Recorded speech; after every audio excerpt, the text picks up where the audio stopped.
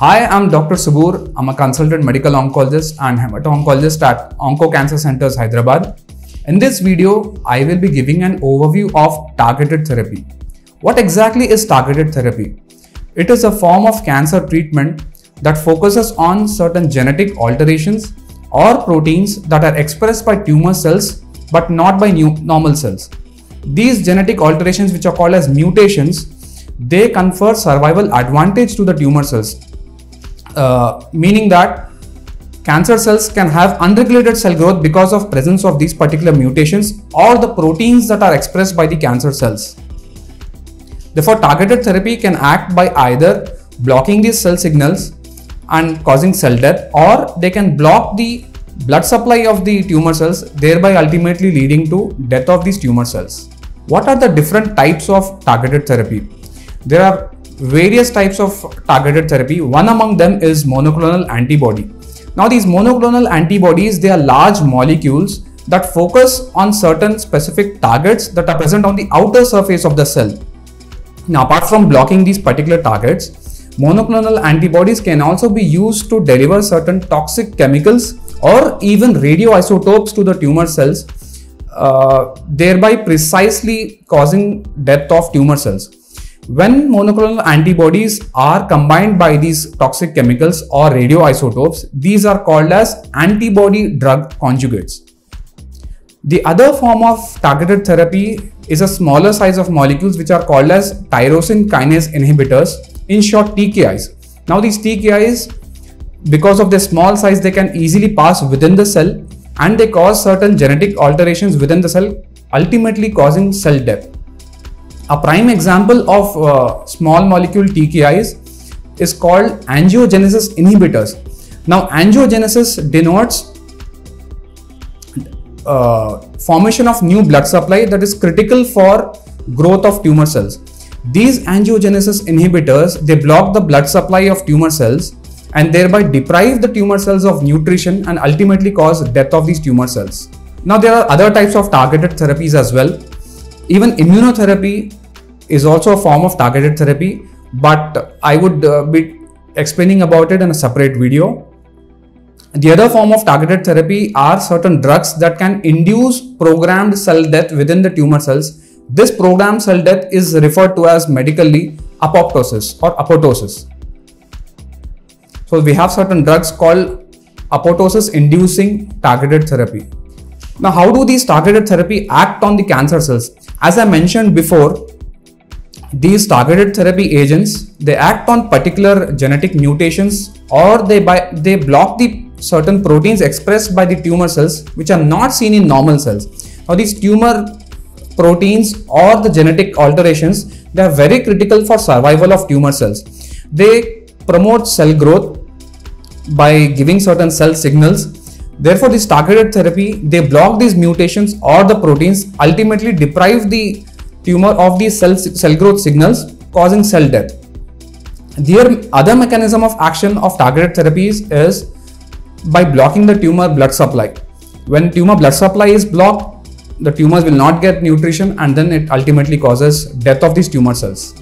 How is targeted therapy given?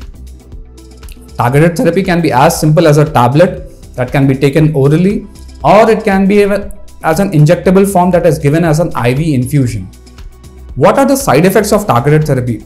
Like any other cancer treatment, targeted therapy can also have certain side effects, but in comparison to conventional chemotherapy, the side effects are different and the severity can be less compared to conventional chemotherapy. Now the side effects of targeted therapy depends on what drug we are using and what is the target of that particular drug. I will give you an example. Now there are certain targeted therapies used in lung cancer that focus on genetic alterations called EGFR mutations. When we use EGFR mutation targeting drugs in lung cancer patients, they can cause skin problems or hair, nail and eye problems as well. Targeted therapies that are focusing on blood supply of uh, tumor cells which are called angiogenesis inhibitors, these have different spectra of adverse effects. Most commonly they can cause a rise in blood pressure which is called hypertension. They can also cause stroke or myocardial infarction, which is commonly referred to as heart attack. It can also cause some wound healing issues as well.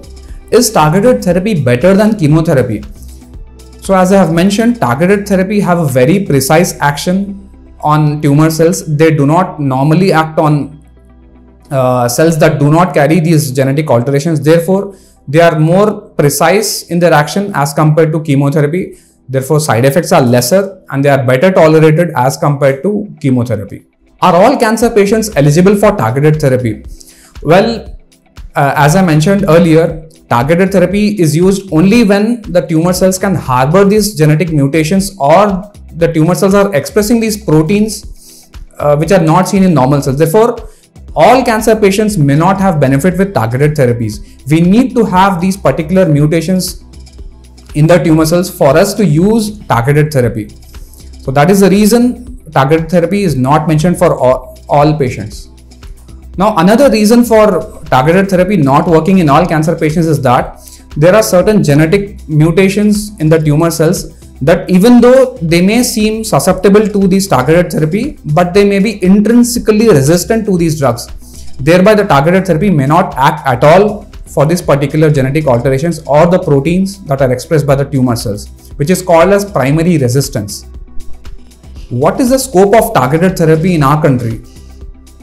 Well, we have come a long way in cancer treatment in advances as well. So targeted therapy for certain cancers, especially CML, which is chronic myeloid leukemia, it is a form of blood cancer.